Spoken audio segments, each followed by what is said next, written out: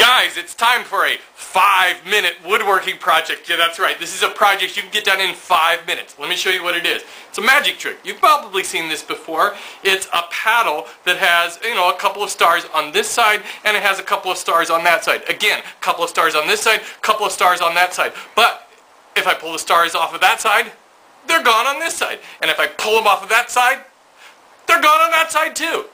Since this is only a five-minute uh, woodworking project, and, well, really, it's hardly even a woodworking project, I thought I'd show you a couple of other magic illusions that you can try at home and you can impress your friends and family.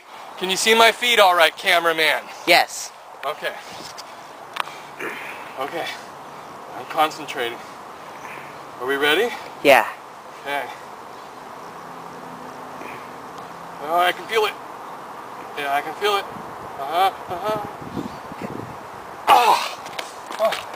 Oh! My gosh, it just takes just about everything out of me that there is. Here's another one you can impress the guys in the shop with. Twist your arm all the way around. Okay, cameraman, you getting a good shot of this? Yep. Okay, I'm going to pull this hand around.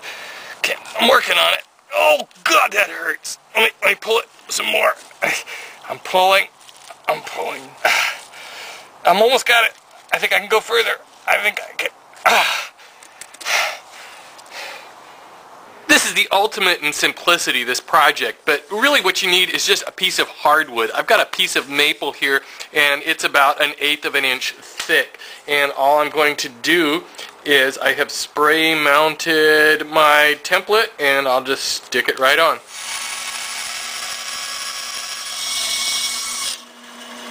That's all there is to it. There you've got a, uh, well, basically your basic paddle. And so I'm just, um, you know, rounding over the edges, just trying to make it a little bit smoother, and there we go. And that spray paint dries in just a few minutes, and I got a sheet of these uh, stars. There's, you know, gold stars like you got in kindergarten, and, you know, maybe I'll just place one here and well, maybe I'll do two. You know, of course, you can you can put anything on here. I kind of like the idea of using these peel-off stars because then I can just peel them off and change them, you know, if I want to. How did I levitate myself? Well, you've probably already figured it out. But if you haven't, I'm going to show it to you from a different angle, okay? Here I am, over here. Now remember, the whole key to this trick is that the person viewing it has to be standing over there. Okay, so here I am. You're looking at me from this way. Watch my feet now. Huh? Huh? Huh? As far as twisting my hand around, did you notice I had on a long sleeve shirt? Let me take off my shirt and I'll show you it with short sleeves. Obviously, if my hands are like this, I can't go all the way around. But if I take this hand and put it that way and this hand that way, if I've got a long sleeve shirt on, you can't tell. And then I can go all the way around. This paddle has, of course, the stars on one side and none on the other side. Well, the, the trick lies in the presentation of it, which I don't claim to really be a good magician. Um, there are people who can really make this look cool. But what you do is, when, when you've got the stars up on this side, is you're just flipping it around, back and forth. But if I did it this way, you would see that. So um, there's something about when you're viewing things horizontally like this, and when you flip them, you, it, it kind of deceives the eye. So in other words, what you're doing is you're showing the stars, and as you're flipping it around, uh, you're also doing a quarter turn with your fingers. In other words, like that, like that, like that, okay? And then when, of course, when you want to show that there's no stars, you just flip it over naturally. Now, uh, of course, if you have a kid under the age of, you know, 13, they could probably do this way better than I can. But anyways, that's the Magic Paddle, and you can certainly get it done in just a few minutes and, and give it to a kid if you've got some time out in your shop to work on it.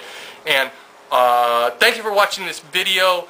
Uh, also, if you want to download my little template for this, it'll be in the description box somewhere, a, a PDF. I mean, there's really not much to it. I'm sure you can figure it out on your own. But you can download that. Uh, also, a reminder, please visit me on my website, woodworkingformeremortals.com. and my Facebook site because I'm, you know, always Facebooking, and of course Twitter. You can Twitter me and tweet, do that whole tweeting thing. Um, but you'll find all that on my website. Go there, you'll find it, or the YouTube site. And this is like TMI, TMI.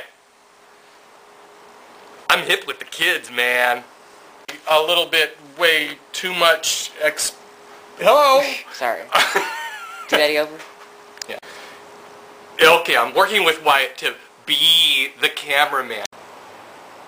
This time has nothing to do with Wyatt's camera skills. Okay, let me show you how this... okay, I'm not going to make a crack this time. Something you can make, you know, while you're fooling around and I'm talking too much. I don't know. I can pull them off of this side, and they're over there. I kind of screwed that up, didn't I? Yep.